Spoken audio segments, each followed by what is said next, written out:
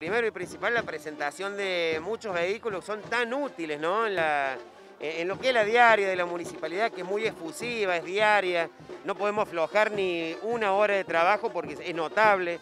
Así que la verdad, cada uno de estos móviles tiene un responsable, pero un recolector de residuos hoy está corriendo 20 a 40 kilómetros diarios. Y yo por ahí preguntaba a cada una de las personas que nos acompañaban en este acto, es si alguien lo puede llegar a lograr. Es un trabajo difícil, es un trabajo que todos podemos acompañarlos y ayudarlos.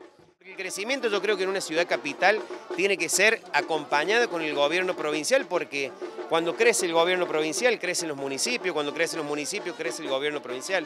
Y la verdad que ese es el camino correcto, es trabajar en equipo y la verdad que yo estoy muy, muy conforme con el trabajo en equipo que se está realizando. Le van a cambiar la cara a la zona norte. Se va a hacer absolutamente la renovación completa de todos los anexos del Eva Perón, el Eva Perón, las Rosas, absolutamente todo. Pero acá en este mismo lugar vamos a hacer el inicio de obra. Gracias a Dios eh, tenemos una unidad nueva eh, yo soy chofer de carga lateral, lo que es el centro, y bueno, se lo hace mucho más fácil el trabajo ahora con, con las herramientas nuevas. Mucho más rápida, tenemos para, van a incorporar más choferes, que eso es lo más importante también. Eh, genera más trabajo y aparte la comodidad nuestra también los influye muy mucho.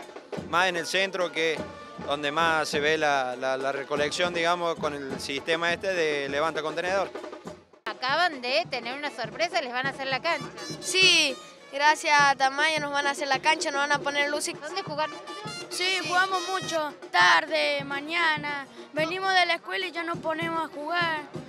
¿Y ustedes también les gusta jugar al fútbol? Sí, nos encanta, estamos todos los días acá aprendiendo. ¿Y contentos con la cancha los demás también? Sí, contentos, sí.